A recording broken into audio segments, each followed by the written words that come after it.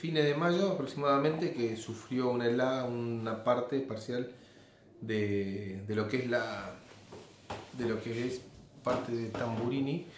Y el sector ese que sufrió la helada eh, tienen que rehacerlo, fue notificada a la empresa para que lo rehaga, a partir de ahí le solicitamos a la empresa que, haga el pedido de veda porque en esas condiciones podía llegar a, a suceder que se estropearan otros, otros sectores más del, de lo que es el pavimento. Con la helada se quemó el pavimento y por eso afloran las piedras ahora. Entendemos que es, entendemos de acá, sobre todo de la inspección que le hace, un ingeniero del área, que, el motivo es ese. Por lo tanto, le, pedimos que no siga avanzando con lo que es el hormigón propiamente, porque podía suceder que se siga helando, se siga quemando, como habitualmente se dice, otros sectores de, del pavimento. Bueno, pero eh, ya pasó la veda, ya las temperaturas son otras, ¿por qué no hay un estado de avance, no se ve movimiento de máquinas, de personal, nada? No, estamos, mira, estamos esperando los días los días necesarios en base a la nota, al pedido que se le está haciendo para la reparación y terminación de una, de una parte que había quedado pendiente,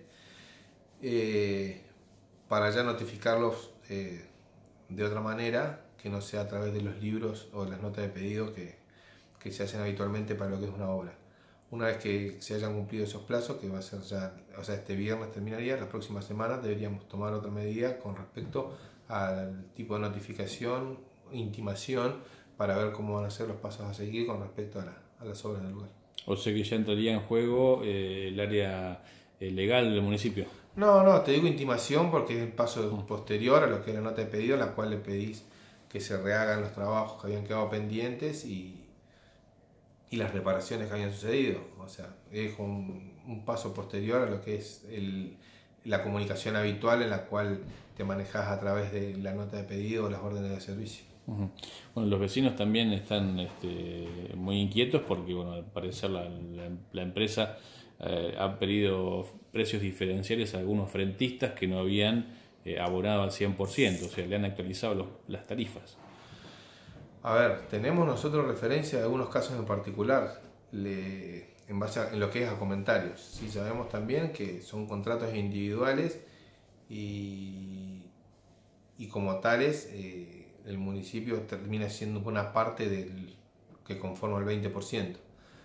Por lo tanto, lo que tendríamos, o sea, el tema de la actualización de precios para el que no pagó el total de la obra, eh, yo creo que sí podría verse eh, reflejado en base a lo que es una variación, si se quiere, del dólar, si se quiere de la bolsa de cemento, si se quiere de, bueno, el INDEC, por ejemplo, que tiene una que tiene un, índice creíble, que está sostenible y que puede verse reflejado en lo que es todo lo que respecta a los las redeterminaciones de precios de la pública.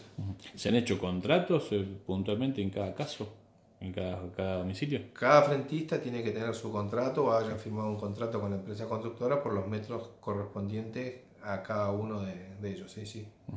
La empresa hoy por hoy está activa porque se hablaba que el titular sería de la ciudad o del país. No, desconozco. La verdad que desconozco. O sea, si hay vínculo porque, con el representante técnico porque el ingeniero del área eh, se comunica diariamente con, con él.